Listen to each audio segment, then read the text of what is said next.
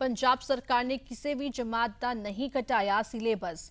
Website ਤੇ ਬਿਨਾਂ ਪ੍ਰਵਾਨਗੀ ਘਟ ਕੀਤਾ ਸਿਲੇਬਸ ਪਾਉਣ ਦਾ ਨੋਟਿਸ ਲਿਆ। ਡਾਇਰੈਕਟਰ ਰਾਜ ਸਿੱਖਿਆ ਖੋਜ ਅਤੇ ਸਿਖਲਾਈ ਪ੍ਰੀਸ਼ਦ ਨੇ ਪੀਐਸਈਬੀ ਦੇ ਚੇਅਰਮੈਨ ਨੂੰ ਪੱਤਰ ਲਿਖਿਆ ਹੈ।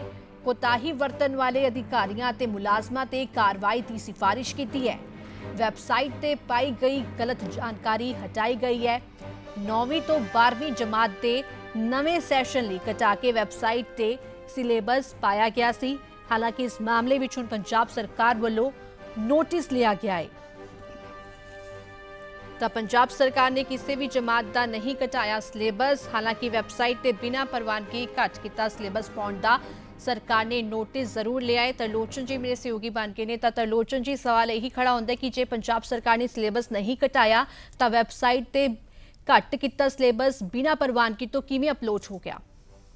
ਬਿਲਕੁਲ ਕਰੋਨਾ ਮਹਾਮਾਰੀ ਕਾਰਨ ਇੱਕ ਪ੍ਰਪੋਜ਼ਲ ਬਣੀ ਸੀ ਵੀ ਕਿਸੇ ਵੀ ਜਮਾਤ ਦਾ ਜਿਹੜੇ ਸਿਲੇਬਸ ਨੇ ਉਹ ਘਟਾਏ ਜਾਣਗੇ ਤਾਂ ਜੋ ਬੱਚਿਆਂ ਨੂੰ ਜਿਹੜਾ ਹੈ ਸਕੂਲ ਆਉਣ ਤੋਂ ਬਿਨਾਂ ਪੜ੍ਹਾਈ ਵਿੱਚ ਬਹੁਤੀ ਦਿੱਕਤ ਨਾ ਆਵੇ ਤੇ ਬੱਚੇ ਆਰਾਮ ਨਾਲ ਪੜ੍ਹ ਸਕਣ। ਪਰ ਪੰਜਾਬ ਸਕੂਲ ਸਿੱਖਿਆ ਬੋਰਡ ਵਿੱਚ ਇੱਕ ਵਾਰ ਫਿਰ ਬੜੀ ਵੱਡੀ ਕੁਤਾਹੀ ਸਾਹਮਣੇ ਆਈ ਹੈ ਵੈਬਸਾਈਟ ਤੇ ਜਿਹੜਾ ਪਾਠਕ੍ਰਮ ਸੀ ਸਿਲੇਬਸ ਸੀ, ਉਹ ਘਟਾਉਣ ਬਾਰੇ ਇੱਕ ਨੋਟਿਸ ਉੱਥੇ ਪੋਸਟ ਕਰ ਦਿੱਤਾ, ਜਿਹਦੇ ਨਾਲ ਇੱਕ ਸਾਰੇ ਪੰਜਾਬ 'ਚ ਇੱਕਦਮ ਪ੍ਰਭਾਵ ਚੱਲ ਗਿਆ ਕਿ ਪੰਜਾਬ ਸਰਕਾਰ ਨੇ ਜਮਾਤਾਂ ਦੇ ਸਿਲੇਬਸ ਵਿੱਚ ਜਿਹੜੇ ਹੈ ਉਹ ਘਟਾ ਦਿੱਤਾ ਹੈ।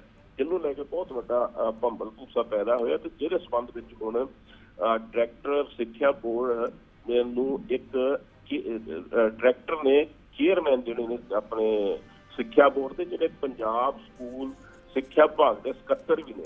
ਕ੍ਰਿਸ਼ਨ ਕੁਮਾਰ ਨੂੰ ਇਹਦੇ ਬਾਰੇ ਜਾਣਕਾਰੀ ਦਿੱਤੀ ਹੈ ਵੀ ਇਹ ਜਿਹੜਾ ਅਪਲੋਡ ਕੀਤਾ ਹੈ, ਇਹਦੇ ਬਾਰੇ ਹਾਲੇ ਕੋਈ ਫੈਸਲਾ ਨਹੀਂ ਹੋਇਆ। ਉਹ ਜਿਹੜੇ ਕਰਮਚਾਰੀ ਅਧਿਕਾਰੀ ਨੇ ਇਹ ਕੀਤਾ ਹੈ, ਉਹਦੇ ਵਿਰੁੱਧ ਕਾਰਵਾਈ ਕੀਤੀ ਜਾਵੇ। ਔਰ ਨਾਲ ਦੀ ਨਾਲ ਇਹ ਵੀ ਸੰਕੇਤ ਦਿੱਤਾ ਗਿਆ ਕਿ ਸਿਲੇਬਸ ਘਟਾਉਣ ਬਾਰੇ ਮਾਹਰਾਂ ਦੀ ਕਮੇਟੀ ਬਣਾਈ ਜਾ ਰਹੀ ਹੈ। ਔਰ ਮਾਹਰਾਂ ਦੀ ਕਮੇਟੀ ਬਣਾਉਣ ਤੋਂ ਬਾਅਦ ਸਿਲੇਬਸ ਘਟਾਉਣ ਬਾਰੇ ਜਿਹੜਾ ਫੈਸਲਾ ਹੈ ਉਹ ਕਮੇਟੀ ਕਰੇਗੀ ਔਰ ਉਸ ਤੋਂ ਬਾਅਦ ਹੀ। ਇਹਦੇ ਬਾਰੇ ਕੋਈ ਨੋਟੀਫਿਕੇਸ਼ਨ ਜਾਂ ਇਹਨੂੰ ਵੈਬਸਾਈਟ ਤੇ ਜਿਹੜਾ ਪਾਇਆ ਜਾਊਗਾ।